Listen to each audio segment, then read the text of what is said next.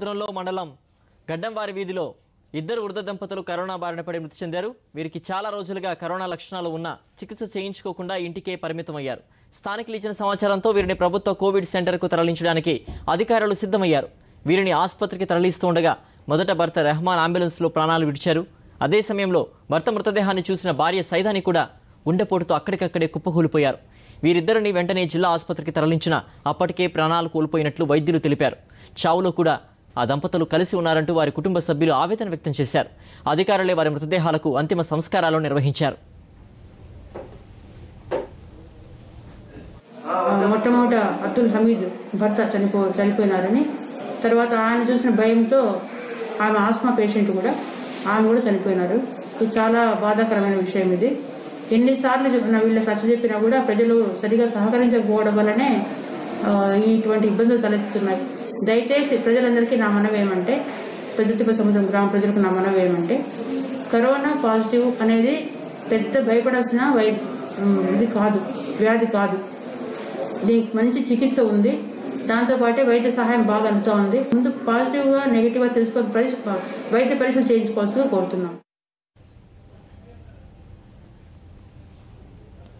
భరత సమాచారం మా కరెస్పాండెంట్ మధు అందిస్తారు. మధు చెప్పండి చిత్తూరు జిల్లాలో చోటు చేసుకున్న ఈ విషాదకర సంఘటన వివరాలేంటి?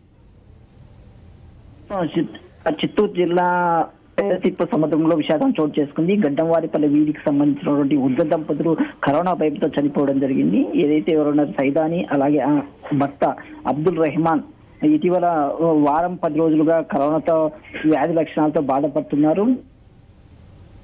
చెప్పడం జరిగింది. మీరు కరోనా లక్షణాలతో బాధపడుతున్నారు వెంటనే ఆసుపత్రికి వెళ్ళి చూపించుకోండి అలాగే టెస్టులు చేయించుకోండి. కానీ వాళ్ళు పట్టించుకోలేదు.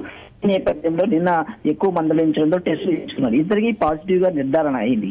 దీంతో ఇవాళ ఉదయం పది పన్నెండు గంటల ప్రాంతంలో వాళ్ళిద్దరిని అంబులెన్స్ ద్వారా తరలిస్తుండగా అంగళ్ళు అంటే ఏదైతే మదనపల్లి సమీపంలో ఉన్నటువంటి అంగల్లు ప్రాంతంలో భర్త అబ్దుల్ రహమాన్ చనిపోవడం జరిగింది. ఆ వార్త ఆ- అదే అంబులెన్స్లో ఉన్నటువంటి సైదాని ఎవరైతే ఉన్నారో అబ్దుల్ రహమాన్ భార్య ఆమె కూడా ఆ బాధను తట్టుకోలేక గుండెపోటుతో చనిపోవడం జరిగింది. వీళ్ళిద్దరిని వెంటనే మదనపల్లి ఆసుపత్రికి తీసుకెళ్ళి పరీక్షించగా అప్పటికే చనిపోయారనేసి ఆ, వైద్యులు నిర్ధారించారు. దీంతో స్థానికంగా తీవ్ర విషాదం నెలకొంది. వాళ్ళకి ఎవరైతే ఉన్నారో వృద్ధ దంపతులు ఎవరైతే ఆమెకు సైదానికి అరవై తొమ్మిది సంవత్సరాలు అబ్దుల్ రహమాన్కు డెబ్బై నాలుగు సంవత్సరాలు. అంటే వయసు భయపడినటువంటి వీళ్ళు వ్యక్తులు సకాలంలో వైద్యం వైద్యం చేయించుకుంటే పరిస్థితి ఈ విధంగా ఉండేది కాదనేసి వైద్యులతో పాటు స్థానికులు చెప్తున్నారు.